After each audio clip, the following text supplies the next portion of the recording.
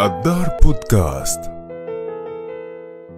لهذه الأسباب تعادي إيران الوحدة الثربية للمملكة المغربية. ليس من المستغرب أبدا أن يعمد نظام الملالي في إيران للتعبير عن موقف معادل للوحدة الترابية للمغرب ويعلن ذلك صراحة أمام اللجنة الرابعة للأمم المتحدة. ليست هذه هي المرة الأولى التي تفعل فيها طهران ذلك ولن تكون الأخيرة. لكن هناك سياق خاص يميز هذا الظهور الإيراني العدائي ضد المغرب في الوقت الحالي ويجب أن نتوقف عنده بالقراءة والتحليل.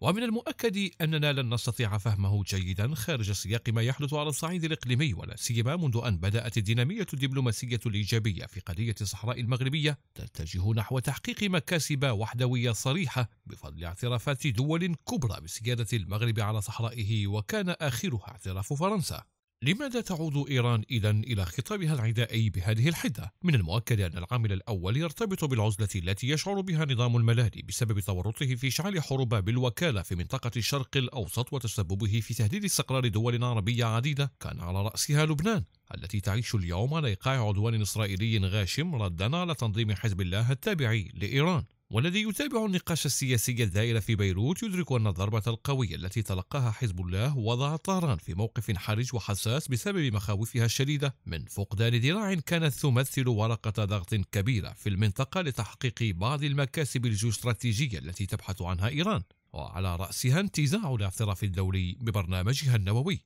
تشعر إيران بعد أن دخلت في مواجهة مباشرة مع إسرائيل أن بإمكانها إطلاق نيرانها العشوائية كيفما اتفق وتبدو كالثور الهائج الذي فقد البوصلة.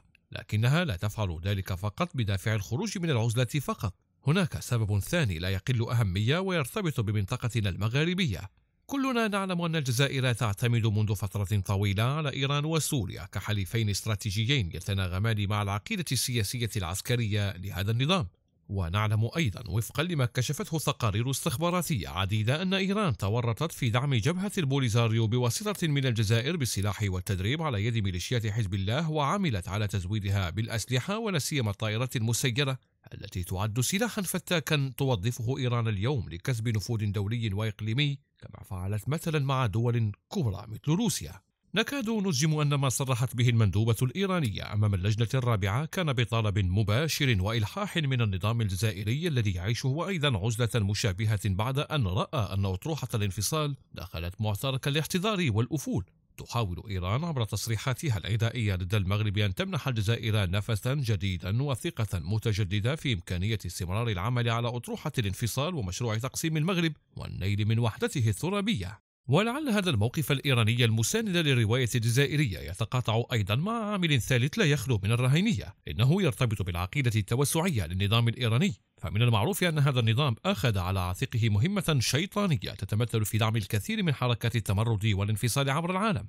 ومن المؤكد أن الدور الذي لعبه المغرب في تصدي للمد الشيعي في غرب إفريقيا منذ نحو عقدين من الزمن يثير امتعاض مرشد الثورة الإيرانية آية الله الخامنئي وقادة مجلس تشخيص مصلحة النظام في طهران. لقد نجحت إيران منذ الثورة في تصدير جزء من عقيدتها السياسية إلى الكثير من بلدان الجوار ولا أدل على ذلك أنها أضحت اليوم تسيطر على عواصم عربية عديدة مثل دمشق وبغداد وصنعاء وبيروت. وهي ترغب منذ زمن طويل في نشر هذه السيطرة ومد هذه الهيمنة غربا تجاه الدول الإفريقية. وقد نجحت فعلا في زرع بذور التشيع في بعض البلدان لكنها لم تستطع أن تحول هذه التنظيمات الدينية الموالية لها إلى حركة تحمل مشاريع سياسية في بلدانها. والفضل في إفشال هذا المشروع يعود في جانب كبير منه إلى الدور الذي لعبه المغرب في تحسين الأمن الديني